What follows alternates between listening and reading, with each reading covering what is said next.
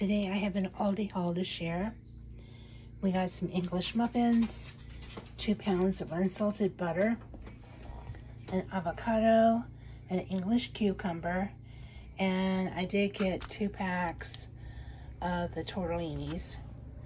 I got a bag of chia seeds and some eggs. A dozen of eggs are $3.79. Got some blackberries, some cherry tomatoes, some cotton candy grapes. I got some red raspberries. Got some roast beef, spinach dip. I got two packs of the pie crust. I don't use them for pies, unfortunately. I use them for quiche and different things like that. I got some provolone cheese and a pork shoulder roast.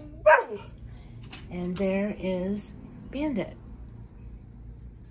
I got some cottage cheese, whipped cream spread. I got some pork chops, some pepper jack cheese, cheddar cheese, three boxes of the California rolls.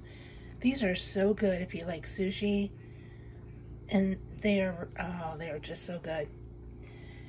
Two rolls of sausage and a bag of meatballs.